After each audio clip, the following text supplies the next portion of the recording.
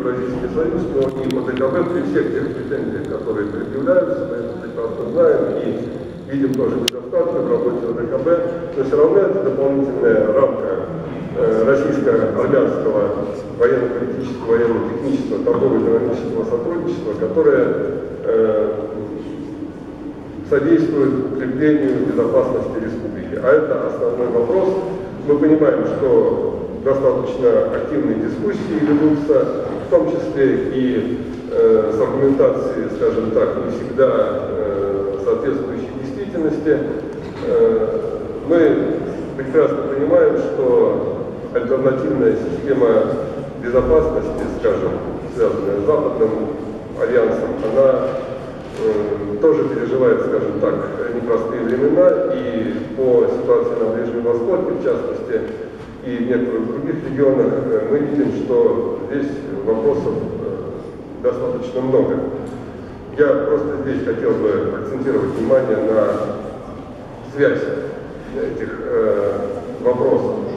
В то же время э, прекрасно понятно, что диалог между э, Республикой Армения и Европейским Союзом он имеет системный тоже и во многом обусловленный взаимными интересами характер.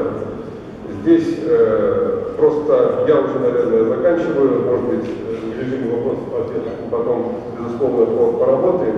Я бы хотел обратить внимание, просто единственное, на примере некоторых балканских стран.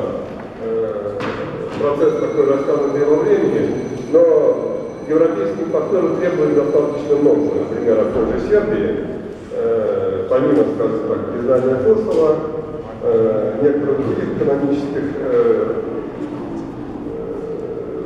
преференций.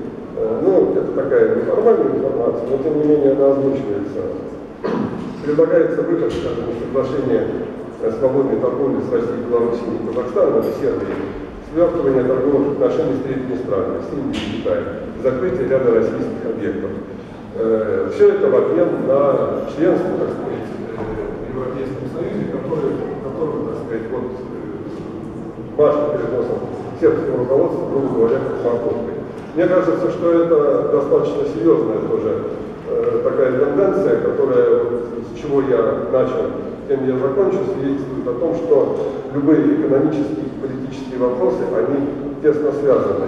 И увлекаясь какими-то, скажем так, э, экономическими подсчетами, вот Аза Шотова, наверное, дополнит меня как экономист, по разным векторам интеграции более предметно, просто нужно не забывать о том, что существуют некоторые геополитические рамки со стороны европейских партнеров, э, они, э, как правило, в той или иной форме требуется, э, оказывается достаточно серьезное давление, в том числе в направлении свертывания торгово-экономических прямых связей с Россией для третьих стран. Мне кажется, об этом не надо никогда не забывать. Никогда не надо забывать. Спасибо.